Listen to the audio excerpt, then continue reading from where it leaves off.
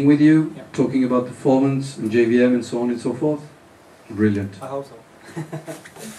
okay. Hello. Thank you.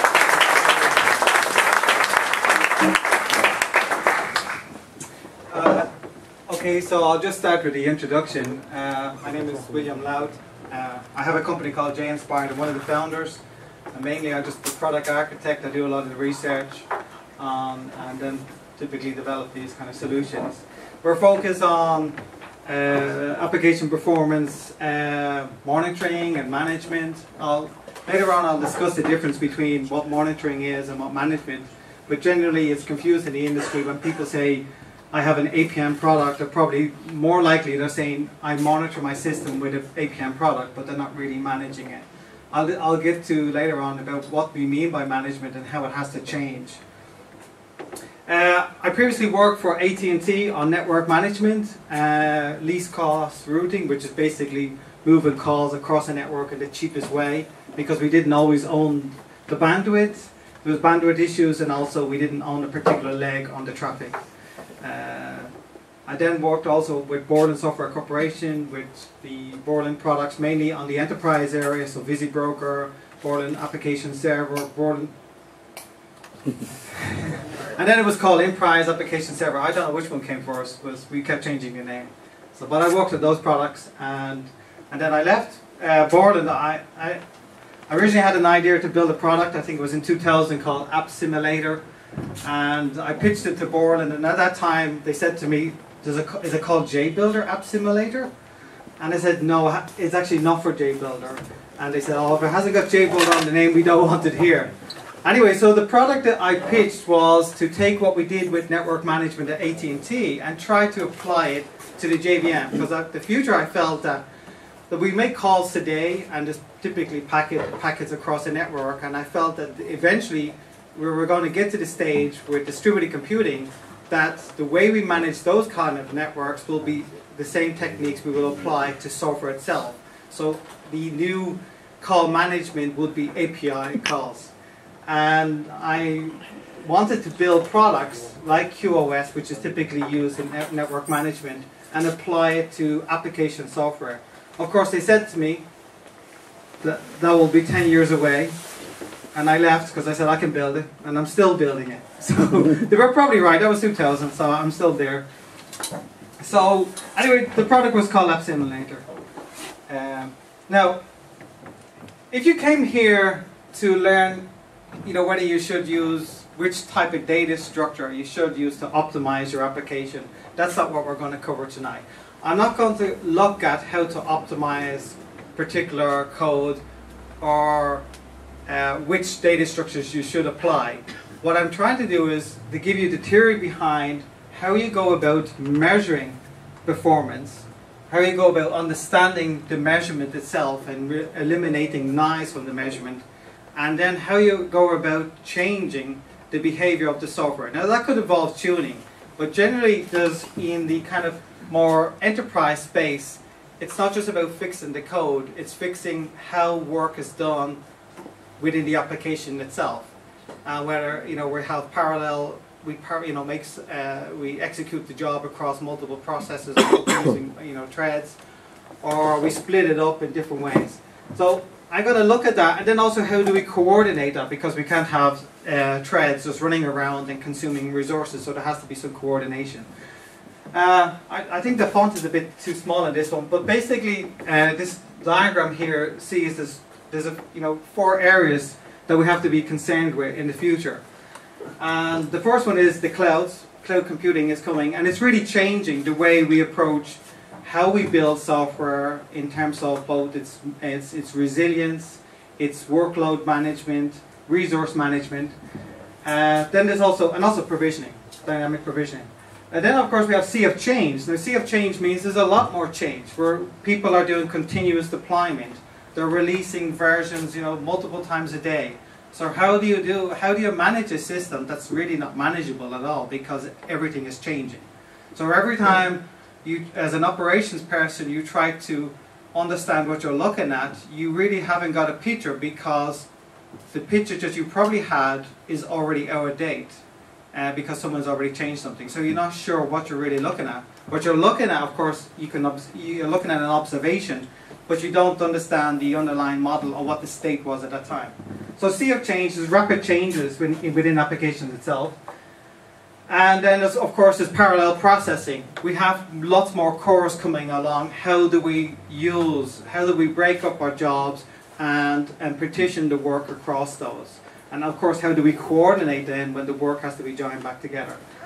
Uh, then the other thing is pillars of platform. We're looking at, uh, you know, people are looking at platforms or languages. I, I wouldn't, like the JVM itself is a platform in some way, but you know, when people think of cloud, they probably think of like platform as a service. But really, it's much more. I'm saying general that we're looking at new programming models to help us work in the cloud, handle sea of change, and also make it easier to do parallel processing. And these kind of pillars of the platform are typically like actor-based systems, packet systems, which are really were probably the inspiration behind actor-based systems like Akka and all. So when it comes to performance, uh, there's a bit of a history to it. Uh, I, people probably can't see this. Will I, will I change the resolution a little bit? Will it work? I don't know. No, uh, we, have, uh, we have screens everywhere. Oh, you have screens in it? Oh, Yeah. sorry, I didn't know. Um, okay, that's very good.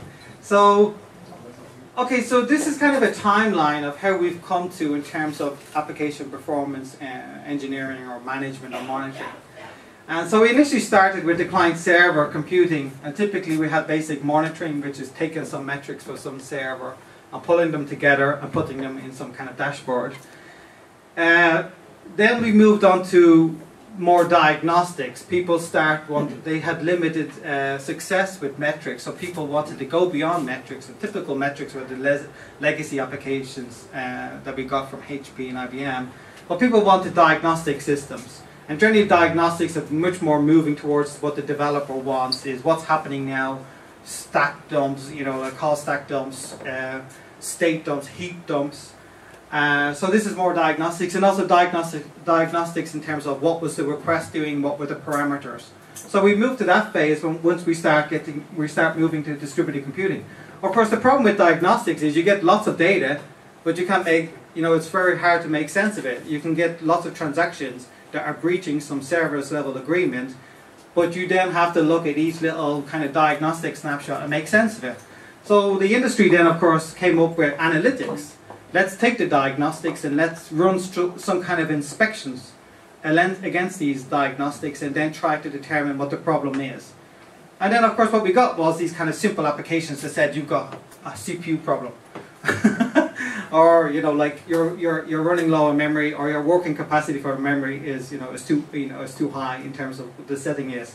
So they were very primitive but we did have some kind of analytics for a while. And what we're moving of course then the industry started looking at more the grid computing. Of course grid was always there but it became a bit, bit more mainstream.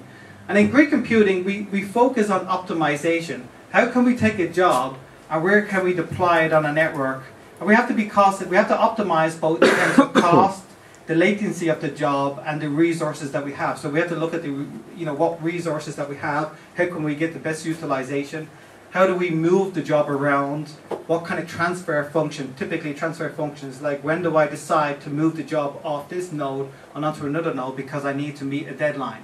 So in grid computing we started to look at job optimization how to make a job run fast, run faster within a time window, or how to uh, you know reduce its costs in some ways, because you know there'll be transfer costs. With utility computing, which is very very much like what cloud is, we're looking at more we're looking more adaptation. Uh, utility computing is how can the application itself change itself to suit the environment, uh, which is like in cloud computing we can certainly have additional capacity. We can add more nodes into a cluster. And we can add hundreds of nodes in, into a cluster. But can the software itself adapt to that? Can it run in a you know a smaller capacity environment and suddenly dynamically change? And it might even request those resources. It might say, I can't do my job. So can I provision another server and move some of the work over there? So that's where the system has to adapt both to the environment and to the workload. So sometimes with the workload, it's trying to change its environment or trying to change itself. And typically, of course, if it can interact with its environment, it's trying to make it cozier. So adaptation, we're focused, really we're coming into. So cloud computing is, is looking for us to start to make our software a bit more intelligent about uh, more than just I do a request, but I look at what I do, I understand how I did it, I try to figure out how I can do it better, or I try to figure out why I didn't meet some service level agreement or why I didn't give you a good service, and then I try to adjust the next time I do this. And that's where we're moving to cloud. Cloud is looking more for that. We have to do that because there's simply no way to manage this kind of system if we have to go in and manually change the software every time someone adds a new node or new servers in there. Now to do that, what we our view is that there has to be two things that have to come along. We have to have a way to measure software to, to probe its software and understand the essence of the execution behavior. So we have to figure out, the software has to, some way, figure out what do I do? Other than, because typically, of course, a code just says I call to the next method in my chain. But what does the next method do? It doesn't know that. It just says, well, I hope it does what I asked it to do because that was, this, that was what the method says it does. But it doesn't understand how that particular method that it's calling implements its functionality. And for adaptation, we start to, we need more awareness of what everything else is doing to understand where we need to change. So we need a way, and this is what we call intelligent activity metering. And I'll come to what, the, we'll come on to that. Then the other part is then self-regulated software. The software, it's no point in measuring and saying, okay, that's what I do, how do I change that? So we need a mechanism where we get the software to start changing its behavior based on its observations it's made. There's no point in observing something and not acting on it. Of course, unless you're meeting, unless you're satisfying the service that you're requested to deliver, if you're if you're not satisfying that, you have to re resolve it. Now, self-regulation means that the software is doing it, not you. It doesn't mean just I know you're deploying every hour, and you're probably trying to change the code and say it's adapting because I'm changing the code, but the software will have to start to do that to really get to the level. Now, of course, for those two, what really connects the two of them is what we call feedback systems. In every engineering, control engineering, there's always a feedback mechanism. Feedback mechanisms is basically I look at the observations, I take action, I look at the action, the results of the action, I, which via typically via the observation again, and I see whether the observation has resulted in a change. If it hasn't resulted in a change, I try something else.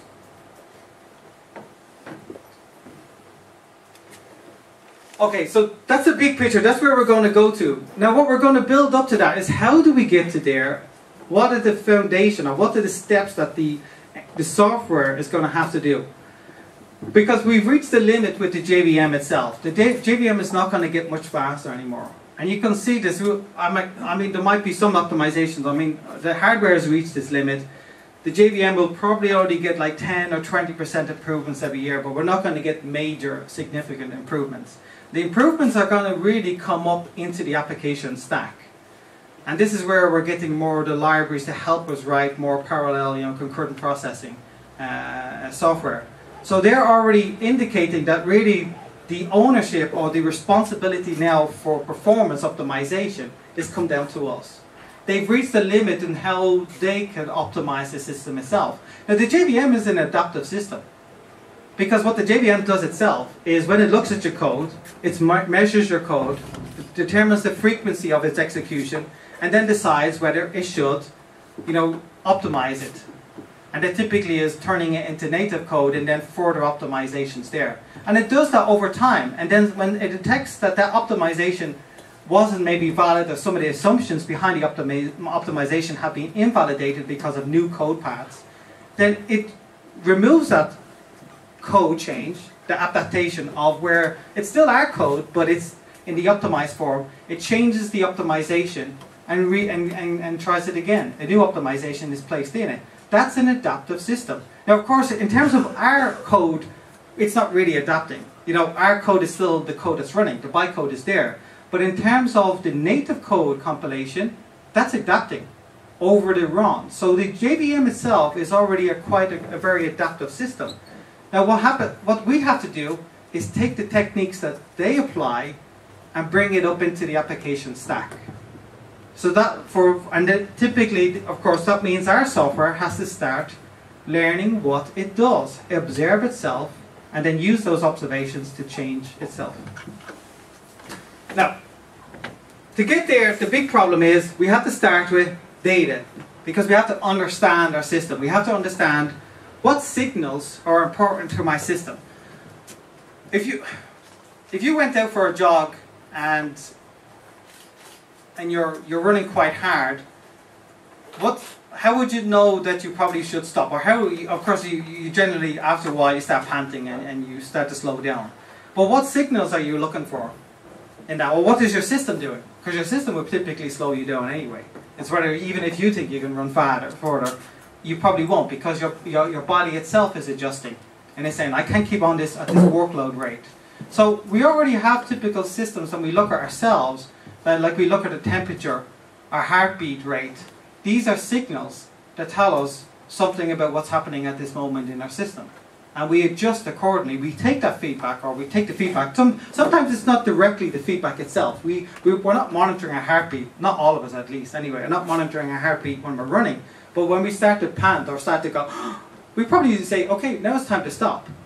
Now, indirectly, there was many other signals that came before that, before we actually got to that particular mechanism, which is trying to indicate, you know, to slow down.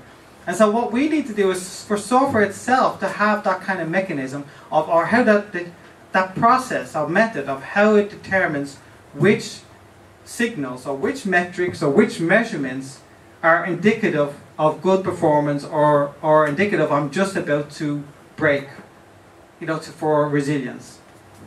Now, of course, we have lots of data, so we could instrument the whole of the application, and every code gets, you know, measured. But we have a lot of noise, and that would be like me hooking up every single vein in my body and saying, let's measure the blood flowing through it. That's probably overkill. I probably don't really need to, to do that to get a sense of my health status. So what we need the system is to, is to figure out which how do, how do I determine the critical or the key performance indicators which I should monitor and ignore the rest? So we have data. Now, when we look at data, think of data as in measurement data. I, I always try to, it's best to picture in terms of at least uh, temporal aspects and, and, loca- and, and location. So the typical approach today with data is you probably create an MBean, someone, you know, with some kind of metrics. You, let's say you write a you wrote a queue system, and you have probably number of items in the queue, and the number of items you've processed, you know, you know, it's a cumulative counter, and you probably publish that as an MBean, and then some other tool is hooks up into the MBean and then pulls it and stores it in a database.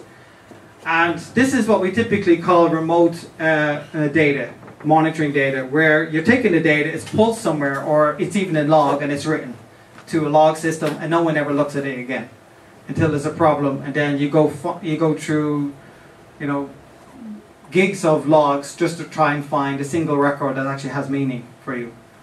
The problem is that the data depreciates. Most logs will, once they're probably not lo- looked at in, within the first hour or within the first day, they're probably never looked at again. But we, we generate a lot of this data. And that's what we call is remote data. Now, part of that is that when we take observations, we also have to understand the temporal aspect, which is I've, got past, present, and predicted. I want to know, I, prediction is basically I want to know what I'm just about to do. Um, now, past would be I just made a measurement and I'm either publishing it to a remote server or it's just within the JVM itself, but it hasn't been collected and I'm holding it there. And that could be just where what you've just done. Like, what was the last request that you just did for a user? What was the response time that you gave? Present behavior would be what am I currently doing? Now that would be what what threads within the system are currently running. So typical present data would be someone does a stack dump. That's a that's a typical what's happening now. That's the present. And then of course then we have to predict it. And now what we want to, to predict it is what am I going to do next? Now you're probably thinking, how can you predict what's going to happen next? Well, I'm not talking about in terms of a user sending another request. I'm not, or sometimes you can predict which request is going to come next from a user's uh, steps in an application. But generally, what I'm talking about is where the code is currently and what is more than likely going to happen next. Now, we do that, the JVM, the hotspot does that today with methods that are calling to other methods, and we typically call that a call site. And so it knows is either this method is going to be called or that method is going to be called. It's typically two loaded. And then, of course, if more get loaded or it's possible that there's uh, more overloading, then generally then it'll validate that. But generally, the, the JVM is trying to shortcut where is the method going to go next. Now, what we have to do is look at our software and figure out what am I going to do next? When this request comes in, will I go to the database? Or how far am I in my processing? Have I already done my database work and have I to do my messaging work? How can the software learn from that? Now, how it can learn from that is by looking at its cur- you know previously profiles of what it did. Now, what it, I don't mean as in terms of what did the, the developer profile last week. I mean that the software looked at the last request and look and then looks at the current request that it's servicing matches it, says this is very similar. What am I going to do next? So, and look at what steps were performed in the last one and what steps are more than likely going to happen next. And that's where it's trying to predict. Now, the reason why we want to predict is because we want to reserve ahead. Generally, to get more optimization and control of the system, we have to reserve resources ahead of time. We want to look ahead and say, well, I'm going to go to the database. And let's say the database had just say someone wrote a connection pool that only had one connection in it. If I'm just about to make that connection state, or I'm in a, in a request and I know the next part is going to be the database part where I load it, I want to reserve ahead and say, give me the connection. I want to reserve it. Don't let anybody go in there because I'm already halfway through my job. I want to finish. But of course, for the software to know that, it needs, it needs, well, for the software to do that, to actually do a reservation, it needs to know what it would, what it needs to be able to predict it, and it needs the previous behavior to to know that the observation. Now, the problem is what we do today. The big problem in the industry is this big black hole, is that all of your data is typically sent to another server. It's written to a log file, or it's put put on an MBean and pulled into some management server. Now, where do you think the data would be more relevant? Would within the application itself. But the application rarely consumes its own measurement data. How many of you have written an application that looks at its own measurement data and adjusts itself? Okay, we'll ask you questions later. you can come up and do a presentation later on your case study. Well, so there's not many. Most of us don't do it. The data is typically, oh, that's someone else's uh, responsibility. Someone's going to consume that. I just publish it. But that data has actually more value local. And local because the, the local we keep it, because we know data depreciates very rapidly, especially as it loses, it goes from a remote system. The more local means is the lower the resolution or the time it's most recent. And then we can start to adjust at that moment. So we want to keep the data local. We want to have present behavior and not just stack dumps. Uh, and we want to be able to use that to predict where we're coming next, what's going to come next. Okay, now when we look at models, uh, generally what people do is they ha I have an information model. An information model, oh, there's a big circle here, you, you just can't see it, oh, at least on not on this screen. But there is a circle here, and this represents the information model. And generally, what we want in the information model is the part of the, which is the management model. It's the part that has more meaning. It's the part that we can use to drive our action, actions which will alter the behavior of the software. So we have, we have to figure out what's, what's, what part of this information model, which is huge, is relevant to the system itself. And so the, the kind of the goal is to figure out what the management model is. So how we do that, we start with measurement. Now the, the, the two approaches we have currently well, we've got the metering, but the, the, typical approach today is the metrics, which is someone has a metric like a counter or a gauge. Uh, the metric is sampled every one minute or one second, and it's stored somewhere, and it's typically at the process level because typically it's published as an MBean uh, or pub, uh, published somewhere, but generally with a process ID. And then, of course, what happens with that metric is we try to look at other metrics because we want to understand the relationship between one metric and another. So when GC is up, what what makes GC spike? Or when the CPU spikes, what other metrics were spiking at that time, or might not be spiking because it could be the inverse. So generally, what we try to do is use statistical correlation to figure out. We're probably concerned about one particular metric, and we want to know the other metrics, which are the drivers to it. Because GC is not, you know, is not the problem. The problem is someone's allocating. So we always want to go back to the cause. We, we, what we're seeing is the effect of that action, but we always want to work our way back to the actual action itself or the cause, you know, the chain of actions that led to that. Unfortunately, with metrics, we can't really do it. Typical for assignment, where we try to take a metric. Let's say there was two or three tasks running at that time when there was a spike in the CPU. Generally, someone will say, "Well, let's apportion one third to this one, one third to that one, and one third to that one." It's what very, very much like what thread samplers do today, call stack samplers. They look at the threads, they take a sample every, you know, 10 milliseconds, and then whatever thread was doing work at that time gets ticked and everybody's getting an apportioned of that time. And really, where you whether you were really doing something is, you know, is not is not actually factored in. So it's not it's not quite accurate. It's not accurate at all. Now, what we what we want to do is, in terms of metering, is this causality, where is that we only attribute, we measure at the activity level. What we want to know is what activity causes a metric to happen. So take let's take example CPU. Today we can get the CPU for both the process and the thread level. So at the thread level, the, when we have a CPU at the thread level, we can relate it back to the actions that the thread did itself. So if the thread was executing a method and the thread CPU time was increased, the cumulative, because it's typically a counter, then we can say that this method caused the CPU to the CPU consumption for this particular thread to increase by this amount. Yeah?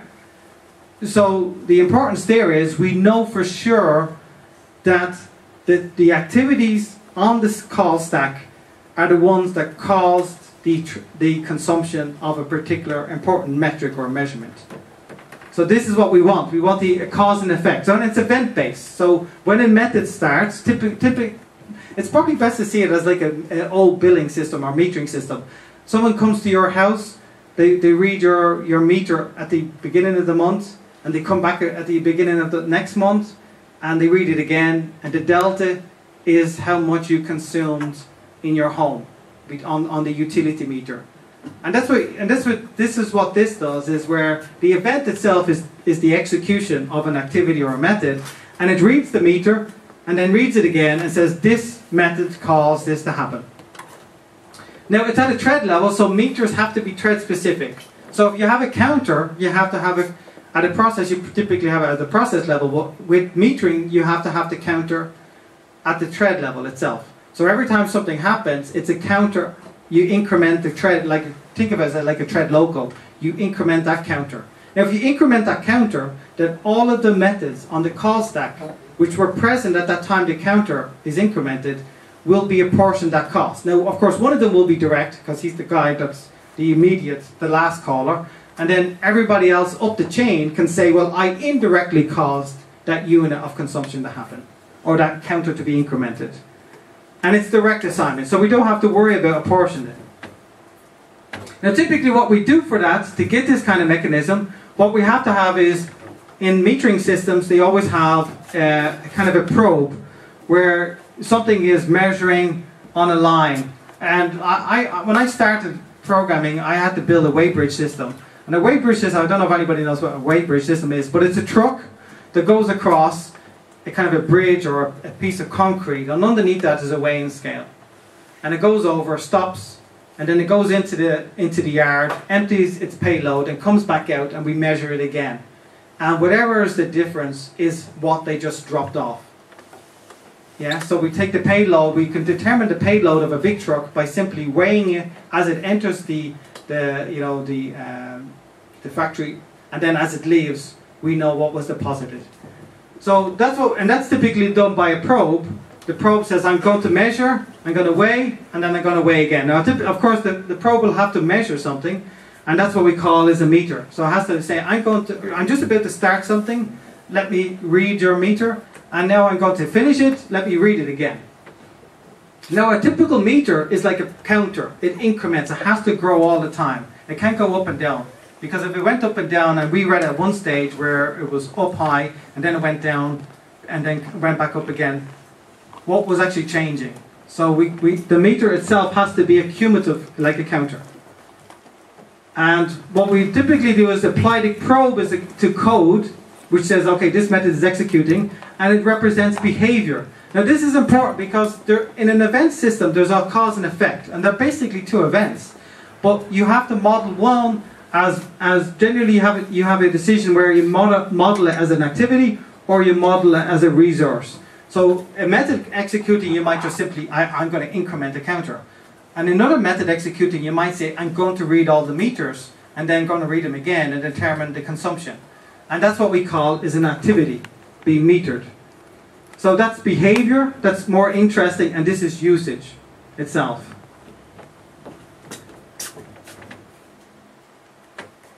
Uh, I, am going to show an example of what that means because it's probably a, a, bit fluffy at the moment for you in the head.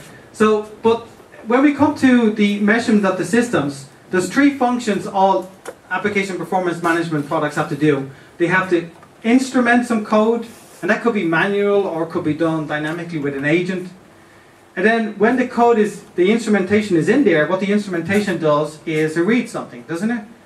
What's, what, the, what does your instrumentation look like today? It's probably like starts with system dot current time milliseconds or nanotime.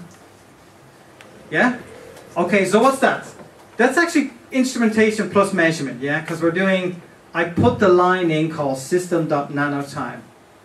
And then I put it in again, and then, and so that's the measurement. You measure the delta, so you do the two instrumentation lines. You take the measurement difference, yeah? And what do you do? What's collection? What is the typical collection done by the vast majority of people? System out or logging. I take that number and then I write it to a log. And that's what we call data collection. So instrument, put the code in there, measure and collect. Now, most people will do that all together. They, whatever they instrument is what they measure, especially if it's only system nanotime because you just decided what it is. And then generally you don't look at the number, you just write it out. How many people actually looked at the number and said, is this worth writing to the log file? No, you just write it out because you, you don't know. You just say, I don't know what the number should be right or wrong. What is the number size? Because I haven't a clue. That's why I'm putting the code in there in the first place. So if you actually knew the time or you, you knew what the performance objective is, you probably would, you know, say, I'll if, if it's this value, then I will not write it to the log file because their log write takes this amount of time. But you don't know how long, how, how long it takes to do a log write, and you don't know what your typical range for your method is, and of course you don't know what's important to the developer.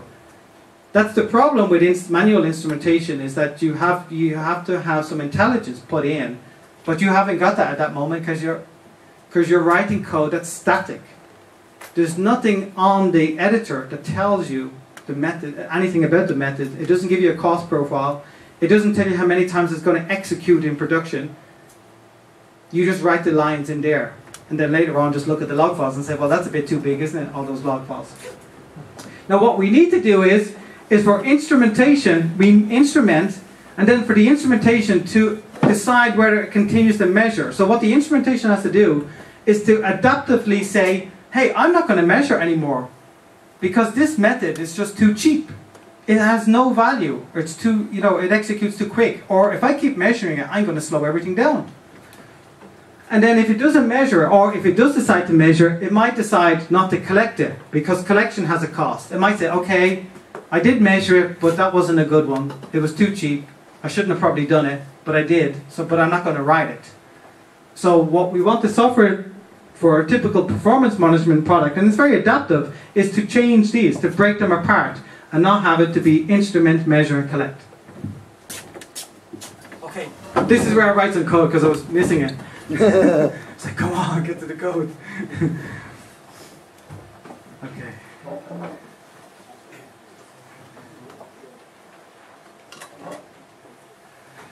Okay, I'm just, we're uh, can everybody see the code? Yeah? So, we're going to look at a piece of code. I am going to change the font on this one, sorry, just to increase it. Uh,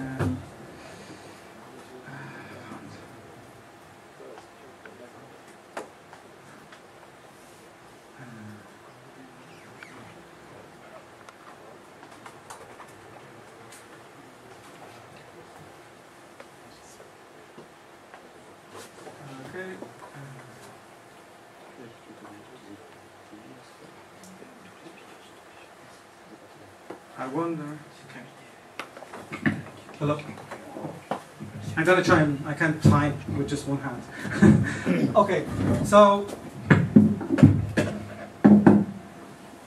we're gonna look at some code here, and then we're going to apply the kind of what I talked about in terms of activity and measurement, just to see what that means. Uh, and again, this is the build up that we have. Our, we're going to later on get to how we adapt the, you know, adaptation happens in our code and how do we observe. Generally, the first part is how can we get rid, rid of noise in the model because we can't just measure everything. So we have to be, you know, in some ways intelligent about that. Now, what intelligent means is, a, of course, a different question. Is what's relevant. Generally, we look at what's relevant to the, uh, the software itself, or the accuracy of information. So if we think about information quality, we have to understand whether did we is the data that we collect accurate or not. Now let's just look at the JVM how it adapts itself. So I'm going to if you look at this method here, run. Uh, does anybody know how to optimize that code? Uh, let's start with that. I want you to optimize call because I found that the call is the bottleneck in the system. Okay, we'll come back to that, so don't worry. But generally, if you were use a sampling tool, it probably would tell you that all you're doing is making call. You're making the call to the call method itself. Yeah? Okay. It's not, of course, it's not doing anything, but it's still, that's where it would happen. Yeah? But it, that's just so. Well, I, we're coming back to why that is. So let's look at just the, the JVM itself in action with this. I'm just going to check that I have it running now. I yeah. The VM actually do nothing. 'cause Yeah, yeah, yeah. Well, we're yeah. That's what I'm going to show. So if we run that, if we run that now, it should. If I haven't done, I'm not running with the instrumentation. Hopefully, uh, no, I don't want the instrument. Hold on. Uh,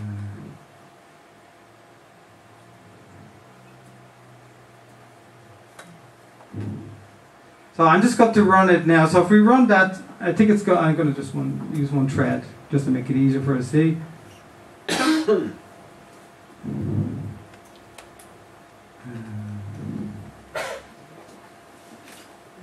I'm going to run it a little bit longer, uh, a few times. Hold on.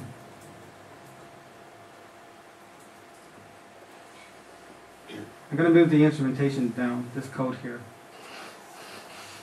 I got to run the test method itself, so we're just going to run this test and put it here because we'll see this in the. Let's put it into the run.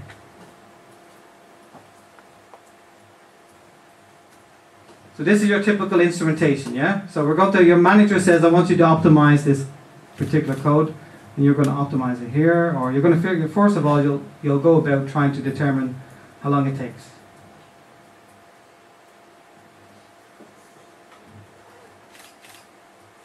And then we're going to print that out. I should have changed this And many times did I execute that? The run count. So your typical will be then the end and the start. And then well, that's divided by the, the run count because we just want to know the average cost. Yeah? Uh, just get rid of all of this sort of stuff there.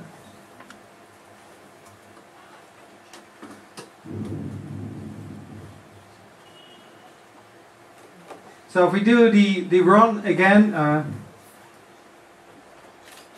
and I'll run it a few more times, run count, uh, test count, I'll run it 10 times the test count. You can see it goes to zero. Yes?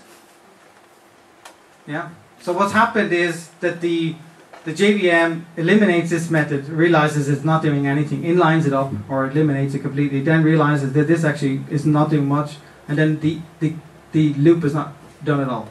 And all we do is actually do start, end, and print out. Yeah? Now, if we apply a measurement tool, so let's say in a typical instrumentation, uh, the best instrumentator or the best tool out there that or the least work could do, and have to do this start. So you come along and you say, I'm going to instrument this method because this is the bottleneck. of course, there's nothing there, but this, that's the whole point. So you're going to do that. That's what your profiler would do, wouldn't it today? At least it has to do that. And then it would have to take it away and then write it somewhere or store it in, in a system. This is the minimum. I mean, no, I mean, couldn't get any cheaper than this. But it doesn't really do much. And the system is is much lower now. And typically the 72 is because we're doing two nano clock time reads. Yeah. So we perturb the system now. We previously we had zero, and now we have something that's coming out with measurements of 71 on the method itself. Yeah? At least the average. And of course, the run method itself is now altered drastically. The run method would have been very quick before, and now it's slow, and all because, not because of it, but because we instrumented a method it calls. So, what we want to do is for the system to dynamically determine I shouldn't measure this method because it's too quick. Now, of course, we can't just say anything that's zero. So somehow the intelligence can't just look at the bytecode and say, okay, whether I should do it or not. It use, needs to use its own measurement to decide whether it should continue.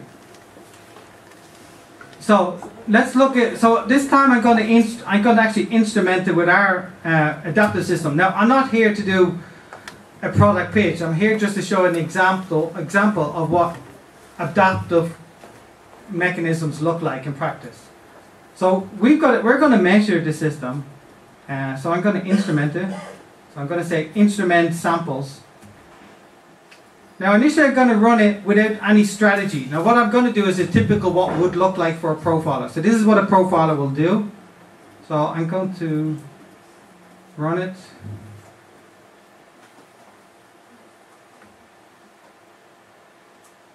And I should, I did take out the clock times, didn't I? Oh, I should take these out. I'm adding, I'm running it twice now.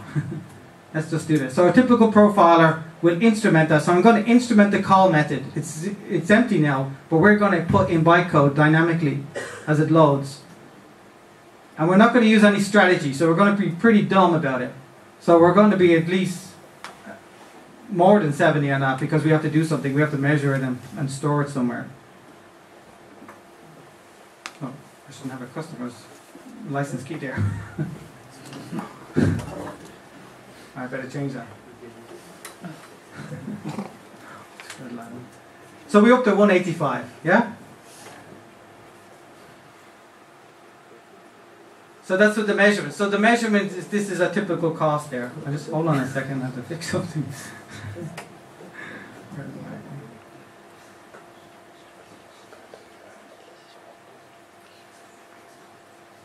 Sorry. Okay. So that's a typical measurement there. We were measuring it. Now I should I'll just do that quickly again just to show you. So we were measuring it. Okay, that's good. Now if I stop it, just to show, because you're probably saying, was it measured? If I drop it now, I've stopped it, and I'll see an XML file. Well, I've turned off the console, so we don't have a connection. So by default, it will uh, output some output some XML. So what's happening here is we're outputting the metering profile. So this is the process level meterings, which is the aggregation, and we can see that uh, the call method here samples that a call.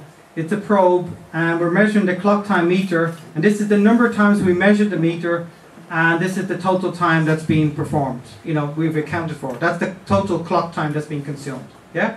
So that's why we're slow because we're measuring it. Of course, I, I have I killed it before. It didn't do its completion.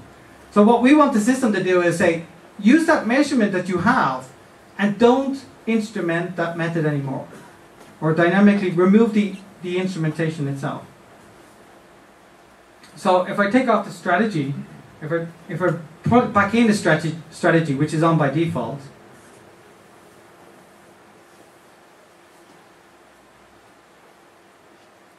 we get back down to quite low figures there. But actually, it will get cheaper. I think if I go to Java 7, I think it should go much cheaper.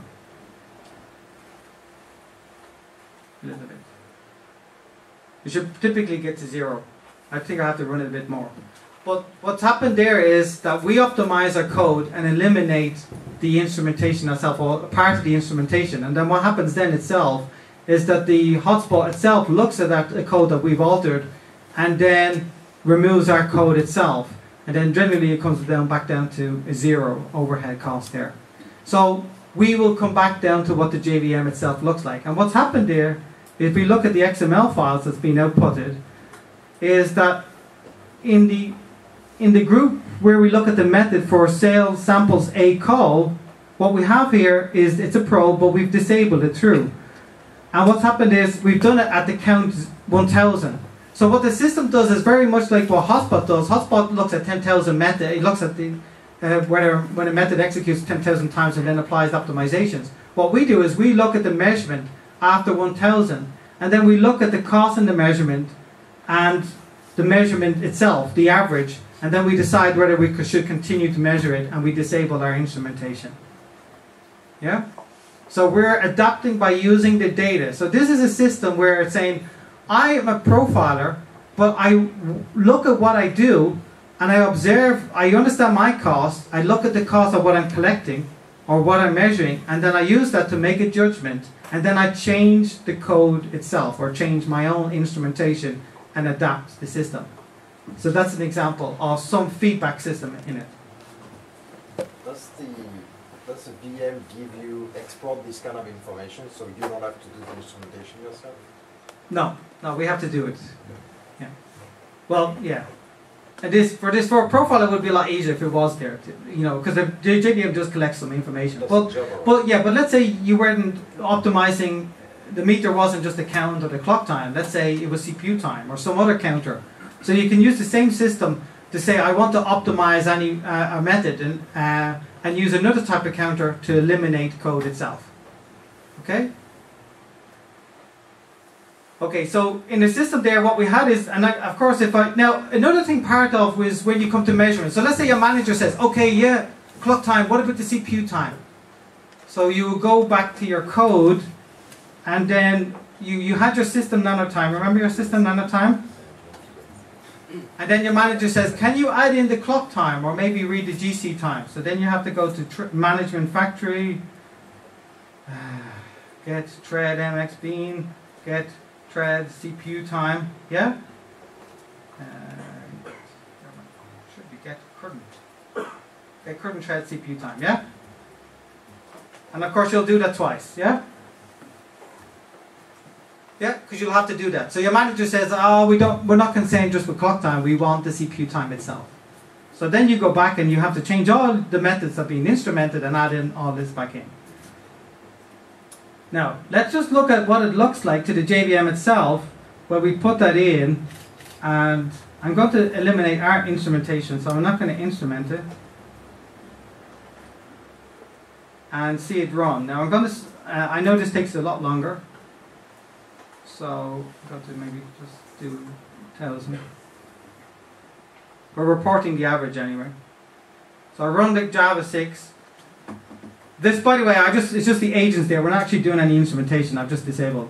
So what's happened here is now this is where we were previously back to 70, but now that we added in the CPU collection, we're nearly up to two, two, two microseconds. This is nanoseconds, yeah?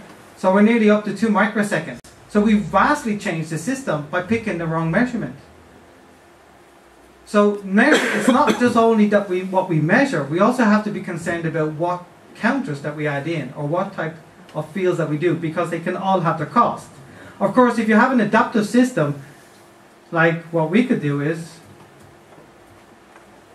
let's say the meter. So we'll put in the meter and let's do it like CPU time include equals true. So I'm just gonna I'm gonna eliminate the instrumentation. Change the S, the S. Yeah, okay. Yeah, thanks. I'm gonna go back and put that in. So this is what what we were looking at already with the CPU time. So if I run that, we should get very similar to what we had. No, there we go zero. Hold on. Um, yes. So I'll just uh, put in. I want the instrument samples, which is the code itself. We run it. Meter CPU time increment. I don't think it's reading that CPU time. Oh, did.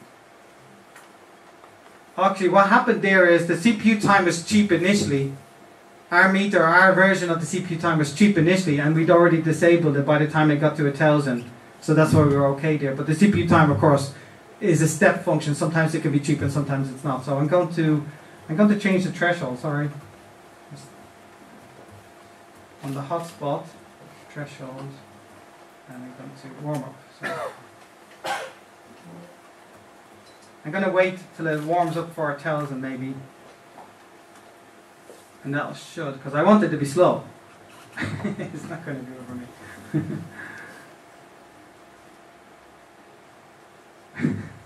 How are we reading that so fast?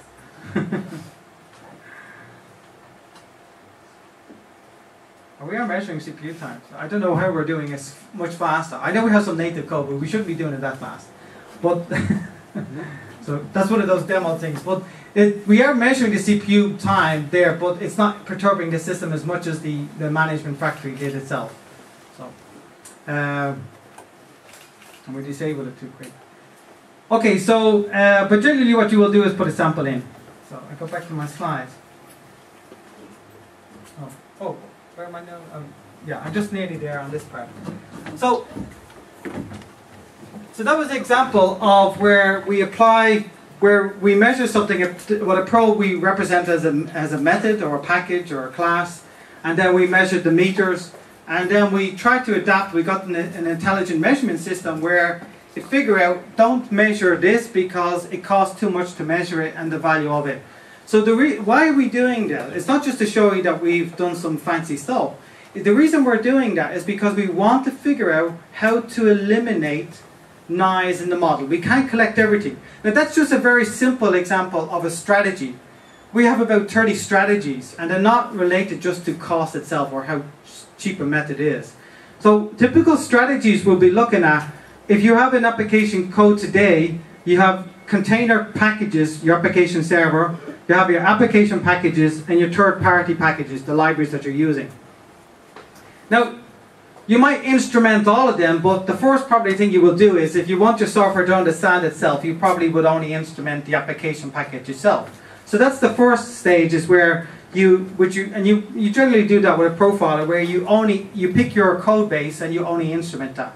So that's a kind of like an intelligent. It's just saying what's relevant. So you're already doing it. It's, it's not dynamic because you're doing it in a configuration file. Now what we want the system, let's say then you have a lot of tiers in your system where you have your, your web app, web tier, your process tier, your, maybe your business, you know, workflow, some business logic and database tier.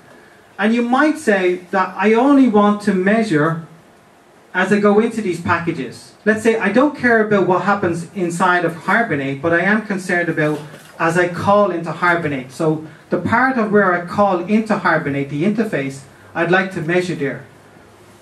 And I'd like to only measure the service calls in my application, which, you know, let's say this is the business of the workflow system and the component level. And maybe I only want to measure at the stop of at the, the, the stop part, you know, the entry point into my web web tier. I don't want to measure every package inside of it. Now, of course, you can't do that because if you were to do that today in manual, what would you have to do? You'd have to run your system up, get a call tree, and then start going through all the methods and saying, there's a method, that's the package, okay? Now, any other method that that calls, I don't want to instrument. So you go into your filters file and exclude it. But what happens if later on that's an entry point, one of those methods that you called, or you eliminated because it's nested, because you only want to measure here, if you eliminate this method, he actually might be an entry point elsewhere in the system. So you can't really do that. It's, it's impossible to do it on any large code base. But what we would like the system to do is to determine that at runtime. Because it's the only way you can do it. So what we, what we can have is, is where we, def, we define a tier, and say this is a tier called web, and these are the packages that are part of the web package. This is the pro- the workflow system. This is the packages that belong to the workflow system, and this is the you know business logic, more component level business logic or validation rules, and then this is the persistence tier. And then what we want the software to then do is determine as the system is running to measure here, but if this method calls these other methods to not measure those. And the system can do that at runtime. And then what happens is we only we're only left with this system here. And this gives us a workflow, this gives us a kind of a, a, a you know a filtered view on how our application works. We can see the calls across the particular tiers. Now a tier means whatever to you it is, whatever packages that belong to it. But that's a much better way of doing it. Now that's an example of an intelligent system where the intelligence can only be done at runtime and then it looks at a method and any method that's never, you know, gets disabled or doesn't get measured unless it's part of here, unless it's at the edge. If it's already inside of another method that's part of each of the existing tier it is, then it doesn't meter it. And that can be done, that can only be done at runtime. So the, these are the kind of things that we want the system to measure or to figure out how to do. I'm nearly there, just coming to the. So what we what we start with when you come down to this now, there's many different strategies that we want. Some some strategies are what we kind of do is try to inline calls, like what the hotspot does today. There's inlining, and so if you know that one method calls another method, and it's always this sequence, then you you can actually only you can only measure the, the other method, and you don't have to measure the inner method because you know that inner method is always called by this method. So these are kind of optimizations that the hotspot does, but these can be applied up at the observation level to to eliminate you know the noise in the system itself. Now, but what we're trying to do is is we start with this kind of big black circle where we're measuring everything in our system, and only this part is of real value, and we're trying to figure it out. Now, of course, we'll in in initial measurement we'll start to see that this is useful, this data here, or this data represents you know the performance. But the problem with this is is that it's because we've instrumented so much, the data is corrupt. The data is not accurate, and we might not be getting the coverage itself. So what we want the system to do is to get more accuracy and maybe collect more data, but only when we've started to get we started to eliminate some of the instrumentation. So what we really want the system to do is instrument everything and then start eliminating instrumentation as it measures and then and then the, what is measured to start to gather more data about that measurement. So initially we might do something cheap. Now this is what the hotspot does itself. It does initial cheap profiling. So we initially do cheap profiling, and then over time we start to do call profiling. Let's tip, cheap profiling would be like system nanotime, just measure the method. But what we want to do over time is to maybe get the call tree of who calls this method. But if we did that at the start and did it for every method, it would be huge, and the cost would it would change the profile. But if we initially use the cheap mechanism and then use that to drive to increase the data collection as we start to eliminate or reduce our overhead, this is where we should be aiming for. Where by the end of the system, or as the system is running, whatever we're measuring is what's relevant to the system, and we've eliminated as much overhead as possible in the measurement itself. And this is what we call intelligent measurement is instrument, use that to drive adaption in the instrumentation, and then and use that then to collect more because we have a bigger budget. So if we eliminate overhead elsewhere by removing bytecode instrumentation, we can use that cost to maybe collect more data on the parts that we are measuring. And that's what a system should do. Now, finally, this is the last slide before the break. When we went back to that method itself, remember the method that we had? Where we had the run method? So let's go, if we go back to this method itself, and I asked you to optimize that method. So, what's the first rule of performance engineering? Or what's the first rule of the performance optimization? What's your, what's your first thing you should do with code if you want to make something go faster? To remove it. To remove it.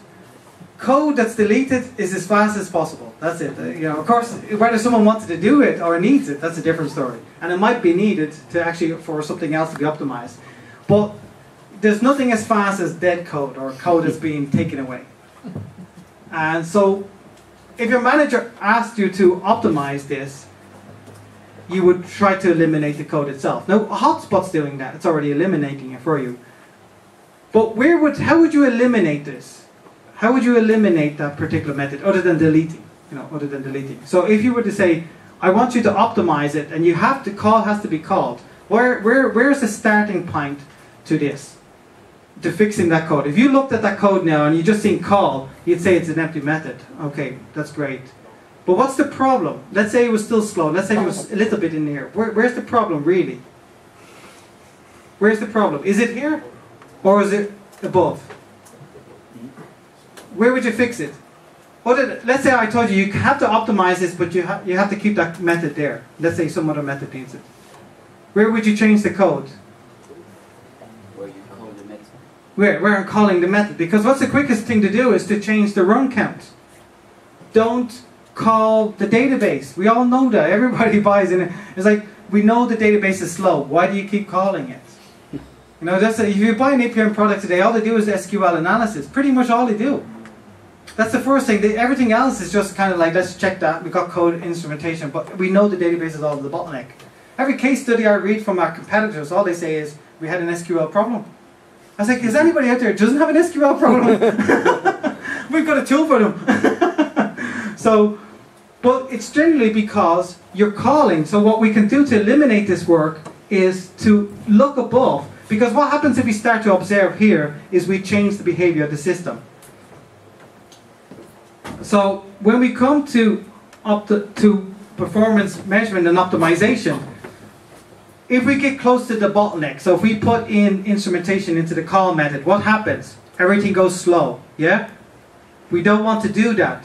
We want to figure out that what the cost is for run itself. That run is calling call. So when we look at performance or hotspots, generally it's not, and every developer wants the a profiler to, to bring them to the line of code. That's the hotspot, but it's not. That's not where the hotspot is. The hotspot is always, or generally, is always above it. It's the guy that's calling it. So if you take the enterprise application, I can tell you today what the hotspot is. It's a database.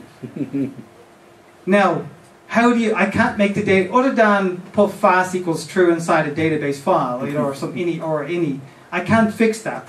So what do you have to do? You have to change the caller.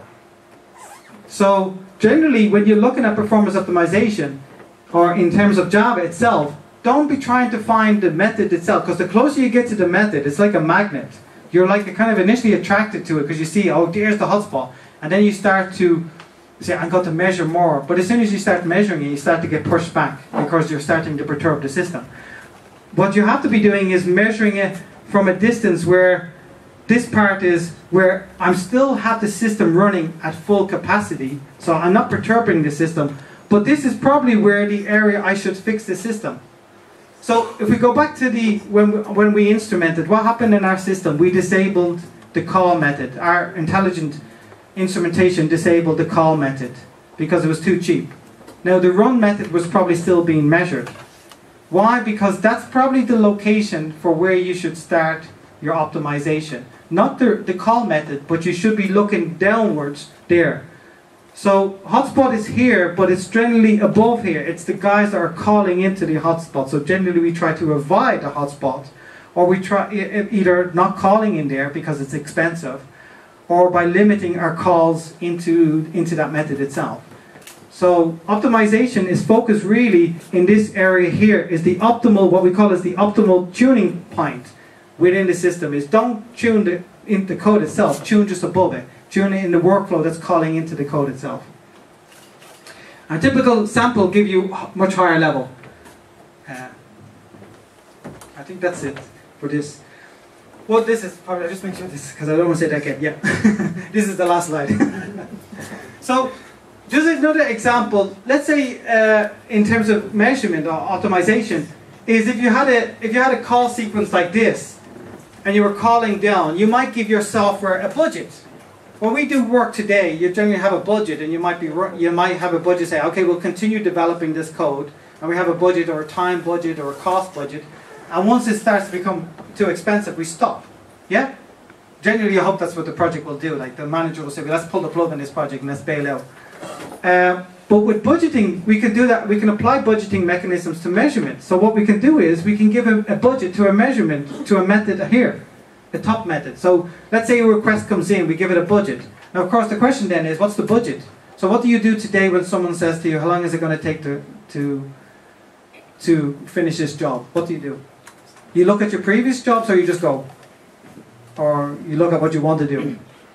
Generally, you look at what you previously did, and you you, you come up with an estimate. So what we can do here is for the for the profiler to look at the previous executions and say this generally uh, this on average costs hundred, and I'll get and I'll, okay my measurement cost is one let's say one microsecond, and that's a hundred. So I can give it a budget. And if I want to keep my budget within 2% overhead, then I can give it 2 microseconds because this is 100. So I can say that this method takes 100, give it 2 microseconds and go down. And then I come to another method and I look at that method. Now I've already taken one unit, so I've taken one unit here and I've given it because I've, I've, I've, measured this method. And then I come down to this method because it's executing now.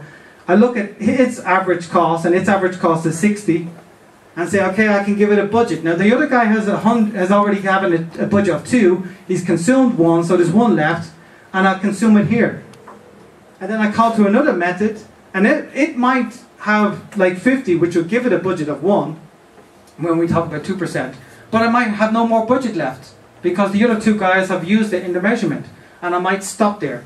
Of course, that diagram doesn't show that now, but what, what a budget system in an optimization can go down as, the, as we're measuring, the, as the code is executing, give a budget and start adjusting, and then as soon as the budget runs out, stop measuring.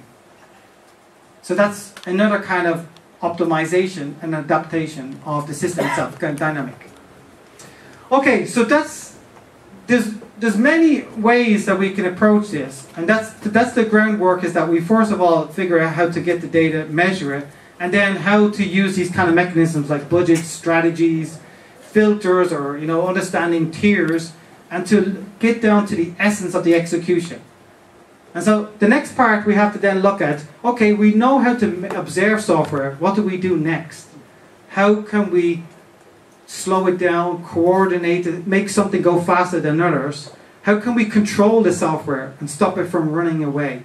So in the next part, when we come back, if, you, if you're still here, oh. we will look at we look at complexity. The complexity that's introduced when we talk about when we go beyond monitoring and look at management. How can we make the software do something other than it does today and use the data and it change itself in ways? And not just about profiling. It's not about profiling we just have to make software adapt itself.